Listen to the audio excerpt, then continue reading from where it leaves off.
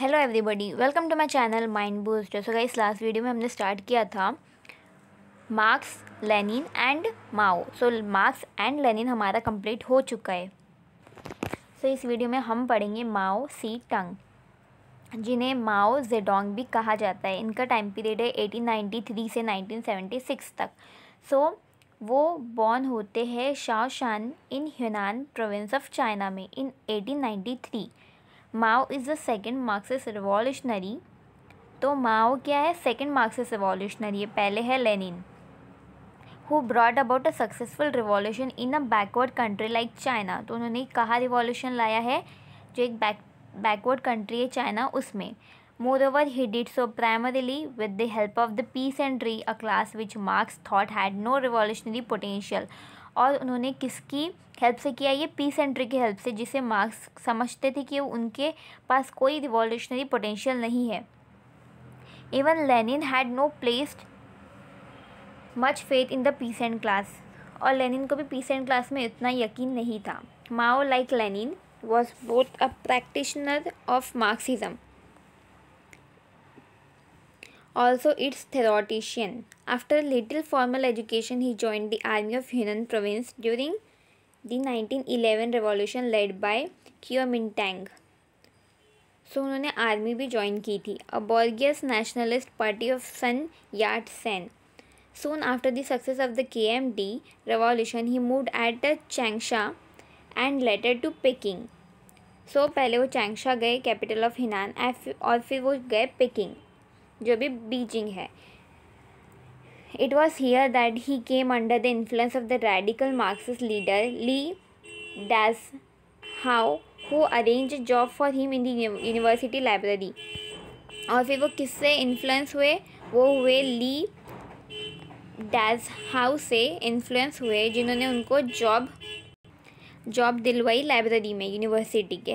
However he left the job and return to Changsha and became active in the Communist Party of China लेकिन उन्होंने वो job छोड़ के वा, वो वापस चैंगशा चले गए और उन्होंने कम्युनिस्ट पार्टी में एक्टिव पार्टिसिपेंट बने वो. Between nineteen twenty one to twenty five he organize the mine workers he also travel to various part of China which gave him a first hand impression about the exploitative condition under which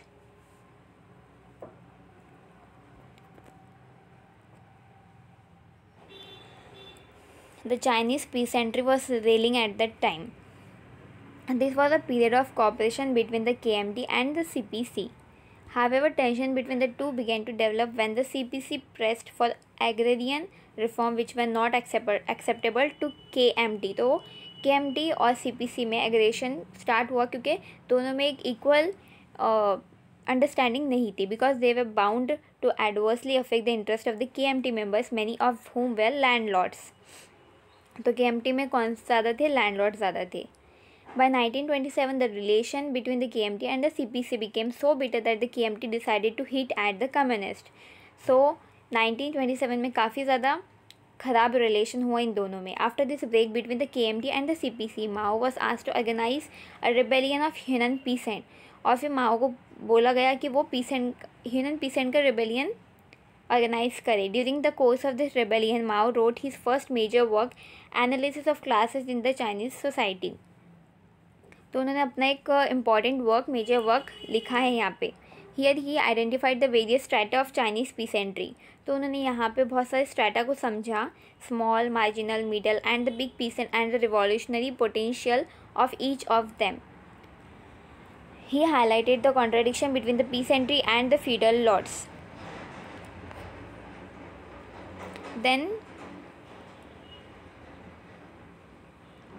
he argued that in the Chinese condition, the peasantry was going to be vanguard of the revolution, unlike Tsarist Russia, where revolution was led by the proletariat. तो जैसे कि Russia में एक Vanguard हुआ proletariat के लिए वैसे यहाँ पे पीस एंट्री के लिए हुआ He also identified the strata which could be reliable and vacillating, vacil, vacillating allies in a peasant, peasant-led revolution.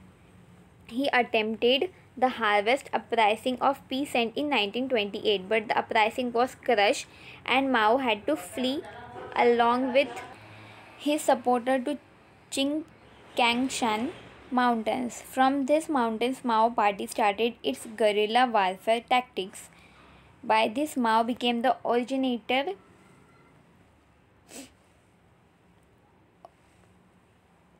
of guerrilla warfare within the Marxian revolutionary framework. तो माओ क्या बन गए ओरिजिनेटर बन गए guerrilla warfare के then uh, by this tactic the cpc was able to capture various part of the south cast East China. It uh, set up a number of peace and Soviets in the captured area. तो इससे क्या हुआ सी P सी ज़्यादा part को capture करने लगे और फिर पीस एंड सोवियट बनाने लगे the successes of the C P C in rural China however were not according to the policy laid down by the Communist International which had been advocating that the revolution must begin from the urban centre तो लेकिन उन्होंने उन्होंने क्या कहा कि जो revolution start होना चाहिए, वो अर्बन सेंटर से स्टार्ट होना चाहिए। था urban centre revolution Mao thought was bound to fail in China because there was a very small proletariat there he continued his guerrilla warfare tactics in the rural area the K M T try to crush this guerrilla attacks and encircled the areas where peasant soviet had been set up So finally, the KMT armies drove out the revolutionaries who took shelter in the northwest heel of China. This escape became famous as Mao Long March. This also made Man the undisputed leader of the CPC opposition which he maintained till his death. तो मतलब के जो थे उन्होंने फिर against उसके काम किया उन लोगों को हटाने लगे ये वो चीज़ें उन्होंने अपनी आ, की देन माओ को जो ये हुआ this escape became famous as Mao Long March तो उसे माओ लॉन्ग मार्च करके फ़ेमस हुआ वो। This also made man the undisputed leader of the C P C opposition which he maintain till his death Mao stay in the north west was a most fruitful period of the C P C it was here that Mao began an extensive study of Marxist philosophy तो यहाँ पर उन्होंने Marxist philosophy को अच्छे से पढ़ा। Mao is believe to have written two serious pieces during this period. One on practice and the other on contradiction. तो ये दो चीज़, दो बुक्स उन्होंने लिखी। पहला है on practice and second one is on contradiction both of this were both of which were publish after the success of the Chinese revolution और दोनों भी चाइनीज़ रेवोल्यूशन के सक्सेस के बाद में पब्लिश हुई। In the nineteen forties he gave a blueprint of the future Chinese government title new democracy तो new democracy का उन्होंने ब्लू भी बाद में दिया during nineteen two two nineteen forty forty two forty three Mao consolidated his position the C P C by eliminating all his possible potential rivals through a rectification campaign तो फिर उन्होंने अपनी सी पी सी में अपनी जगह भी बताई। He also advocate advocated are strategy of mass mobilisation of peasant which is known as Mao mass line so guys उसके बाद आता है पीस एंड रिवॉल्यूशन जो कि एक मतलब उनका एक मेन एम था।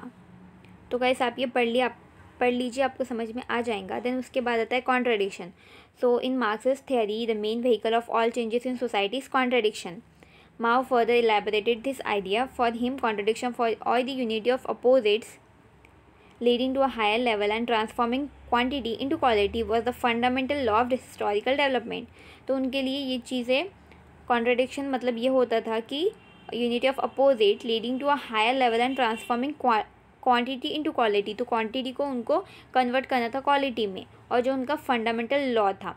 But he did not fully endorse the Marxist position on contradiction लेकिन वो इतना अच्छे से उसको एलेबरेट नहीं कर पाई। It may be mention that Marx in his writing seems to have use the term contradiction and antagonism almost interchangeably so Marx ने contradiction और एंटेगोनिज्म को इंटरचेंज करके यूज़ किया है। Then he express a view that contradiction would remain even in socialist society but antagonism would not और फिर उन्होंने कहा कि कॉन्ट्रडिक्शन रह सकता है सोशल सोशलिस्ट सोसाइटी में, लेकिन एंटागोनिज्म नहीं रह सकता। Mao immensely enriched the debate in his famous essay title on contradiction तो ऑन कॉन्ट्रडिक्शन जो उनकी बुक है, उसमें काफ़ी सब कुछ मेंशन किया गया है। सो गाइस आज के वीडियो में इतना ही। इस वीडियो में हमने कंप्लीट किया है माओ और हमने जो हमारा चैप्टर है मार्क्स लेनिन एंड माओ उसे भी कंप्लीट कर लिया है। So if you like the video please subscribe my channel and also hit the bell icon see you in the next video video another chapter thank you